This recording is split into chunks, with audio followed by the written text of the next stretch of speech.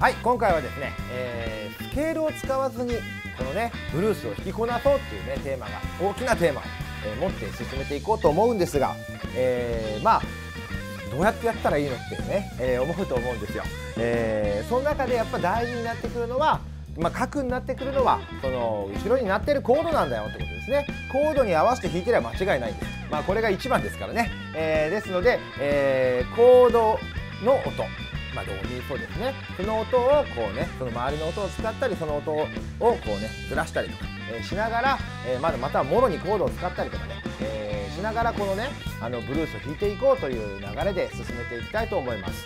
えー、まあコードごとにこうねちゃんとそのコードを追いかけて弾くわけですからこれはね、えジャズへの第一歩でもあります。えー、なので、えー、まあ、最初は簡単なドミソから入りますので、えー、徐々にね理解を深めて、え応用していっていただければと思います。ではね、えまあこのドミソっていきなり言ってもこのギターの指板っていうのはドレミファソラシドが見えないですよね、えー、ピアノならどこにドがあるとかすぐ分かるんですけども、えー、ギターの場合は分かりにくい。ですので、えー、今回最初に、やるのは3つのフォームですね。この A フォームと呼ばれる、まあ、A の形をしている E ですね、えこのフォーム。それと E フォームと言われる E の形をしているこの A コード。ね。A の形で押さえる。E ややこしいですね。それと、えー、E の形で押さえる。A それと D の形で押さえる。E えー、この3つでね説明していこうと思うんですがまず一番分かりやすいのがこの A の形。これの下の3本。これがちょうどルートサードフィフスまたはドミソね。えー、まあ本当のドミソではないですよ、えー、ルートサードフィフスという並びになってる。なのでこのコードの下の部分3本でドミソって覚えちゃっていいですよ。でドミソって言われると分かりにくいっていう人がいるので一応ルートサードフィフスです。そしたら、えー、それがチェックできたらですね周りの音を見ていくわけですね、えー、まあルートからいこうかな。ルート。このここがルートですよってことが分かりました。そしたらその2フレット上がナイスなんですよ。で2フレット下がセブンスなんですよ。おちょっとブルースを感じますよね。でセブンスの下がシックスなんですよ。っていう。ね。このルートを中心に周りを弾いただけでもうメロディーになってくるでしょ。うね。こういうことを応用して、えー、フレーズを作っていくわけです。じゃあ2番いきます。2番はフラットサードから入って。ね。タラタタッタダッタリティなん。ていうフレーズですこれはもうこのサードの最初狙ってますね。フラットサードからブルースを狙ってます。さっきはルートに落ちましたがフィフスに行ってセブンスシックスというねさっきブルースになるって言った音です。セブンスシックス行ってまたフィフスに戻って同じフィフスフラットサードサードルートで収めました。はい、えー、同じ流れを実はここにもねこれ後でまたやりますけども E フォームの4弦からここもドミソが並んでるんです。なんで同じ音を、ね、ここで弾いた音弾いた同じフラットサードフィフスセブンスシックスフィフスフラットサードサードルートで同じラインをいけば違うポジションでで弾けるわけですよね。こういうふうに音でえー、フレーズを解釈することそうすると非常に音楽的になってきますしフレーズへの理解が深まりますそうすると自信を持ってそのフレーズを弾くことができるしこれが俺のメロディーだってね、えー、自信を持って言えるようになりますので、えー、ちょっと最初はね難しいかもしれないですけど5えーとね、このフィフスからここがセブンスでここがルートでみたいなことを、え、日々考えるようにしていってください。とりあえず3つやったのでね、え、これがどんな風な響くかやってみます。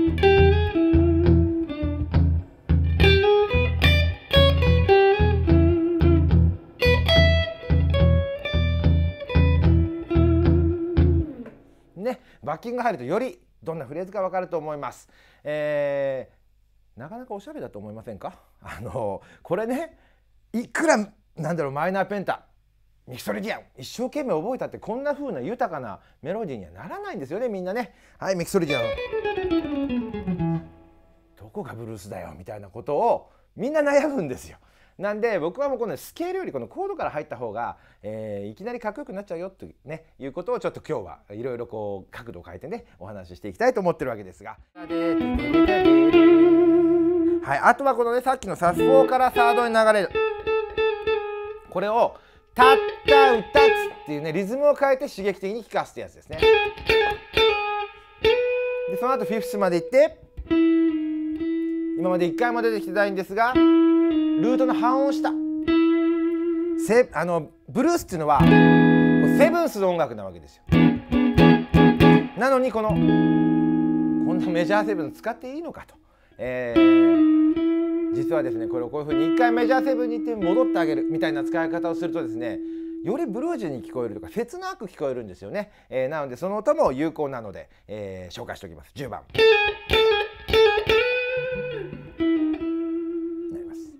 え、ブルースの最後のねとこ。ブルースの最後のとこなんですけどもあのよく「ドゥンドゥドゥドゥドゥドゥドゥドゥドゥドゥドゥドゥ」みたいなねとか「ドゥンドゥドゥドゥドゥドゥドゥドゥドゥ」みたいなこう元に戻りますよとか終わりますよっていう合図がありますねあれをた元に戻るやつをターンラウンドっていうんですがこれがパターンが結構決まってるんですですのでソロの中に自分のこうアドリブとか、えー、ギターソロの中にもそれを入れてあげるとね、えー、はい次戻りますっていう感じを自分で出せるので非常に、えー、なんだろう重宝されるというか人からもねこうねああいつ終わんだなっていうのが分かるし、えー、非常にマナーとしてね弾けるといいフレーズです、えー、簡単なので場所だけチェックしておきます。音の流れは大きく分けて2つ。ね、ルートから入ってセブンス行ってシックス行ってシャープ5行って5に落ちる。5に落ちるってことはこれはキーのドミナントなんだよってことなんで。はい今 A でやってます。キー A だと思ってください。でルートセブン。シャープ5はいこれが E ですってことになるわけですね。これが1つ目ルートからセブンス行ってそこから半音で落ちるってやつ。それと聞いたことありますね。このルートサードフィフスっていうドミソはこの形でもドミソなんです。なんでそれを使ってルートサードヨド、えー、フラット5 5また5で終わりましたね。だんだん上がって最後5で終わったってことはこれはキーのドミナントになるんだよってことでこれもよくあるパターンです。はい。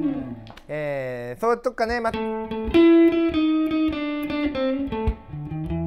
い。いろいろ考えたんですけどね、えー、大きく分けたら今のが一番しっくりきます。あとはちょっとバリエーション的にねルートからいってさっきドミソ上がってきました。それを下がってくるのがある。フィフスフラット5ヨドそしてフラットサードからいって一旦ルートに落とします。そしてその後に E コードに行く。ね。ちょっとまどろこしくなりますね。さっきの2個はドンピシャでもう5のコードに行けるんですけどこれも後処理しないとこれはなかなかうまくはまらないパターンですけども、えー、たまに出てくるパターンなので覚えておいてください。それとって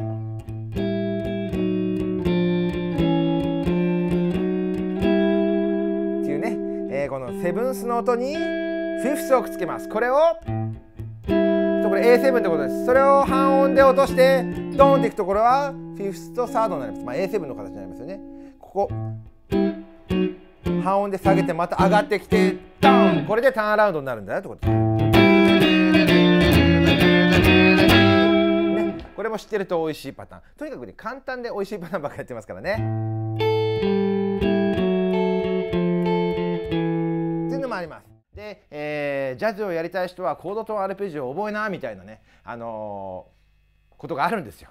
そして A7 が鳴ったら「はーい」って弾いちゃうんですね。これを覚えて「はーい」って弾いちゃうとみんなこのフレーズになっちゃうんですよね。だから要はコードの音を丸々追って、えー、ドミソシドミソシって聞こえてるだけですので、えー、全く面白くない。でなので僕もこれを覚えて何なんだこれと。あいうことでしばらく放置した経験がございます。数年放置したと思います。ですがこれを使ってねさっきみたいに周りの音も加えながらあの豊かなフレーズをね作っていくんですよと、えー、いうことで、えー、今回はね使えるように指板全部でね、えー、まずこの A7 の A7 を使いましてコードとアルペジオをチェックします。まず6弦ルートっていうことをチェックしましょうね。ルート、えー、分かりますね。コードの真ん中の音っていうか一番下の音、えー、中心の音です、えー、これから入るんですが6弦にある場合まず E フォームと呼ばれるね、えー、ここの場所で中指人差し指小指。で人差し指寄せるセブンスを人差し指で弾いたらルート。で中指人差し指小指。最後はルートからストレッチ。っていうのが、えー、E フォームののアルペジオになります。そしたら次は G フォーム G の形の方つまりルートから今こっち側にあったんですが今度こっち側に引くってことですね。それがっていう形になります。ドミソってこのね。こう斜め並並びますよね。ドミソシドミソシドです、まあ、A で言えば A ドのシャープミソ。で A ドのシャープミソ。A えー、これが G フォームなので6弦ルートは、えー、ここの E フォームと G フォームで覚えてください。そしたら次5弦ルート。A フォームと今度は C フォームになりましてこの何弦ルートはどの形が来るっていうのをパッパッパッとこう記憶しておくのが大事。まずは、えー、A フォームからいきます。またラドミソラドミソになりますね。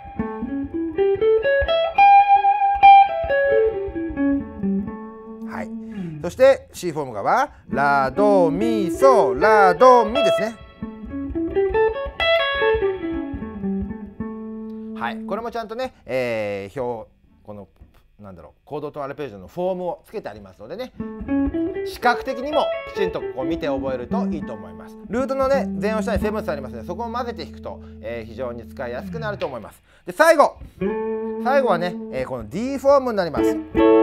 これでも同じようにルートサードフィフスでセブンスルートサード。これで終わりです。セブンスから入ってセブンスルート、えー、サードはドのシャープですね。ドのシャープ？ミソーラー。ドのシャープ？この5つ。これは、えー、絶対覚えてください。はい、で、えー、これを覚えて今みたいにドミソシドミソシって弾くだけだと、えー、僕みたいに 放置してしまいますからね 放置になってしまいますからこれからね、えー、まあちょっとずつ、えー、4個か5個ずつぐらいですけども各フォームでフレーズを作っていきたいと思います。え、まずねこの E フォームで弾く、え、アルペジオで作ったフレーズ、え、からいきます。さっきよりも音域がね広くなりますので、えー、弦をこうねたくさん使うフレーズなんかも入れていきました。6を混ぜたんですね。そのことによって非常にこのさっきのドミソシドミソシみたいな世界からおしゃれに聞こえてきます。そしてフラットサードからサードいってルート。であとはコードを叩け。そしてメジャーセブンから入ってルート。ねメジャーセブンは切ない音でしたね、えルートの半音下にあたる音です。それが入ってます。ごさいは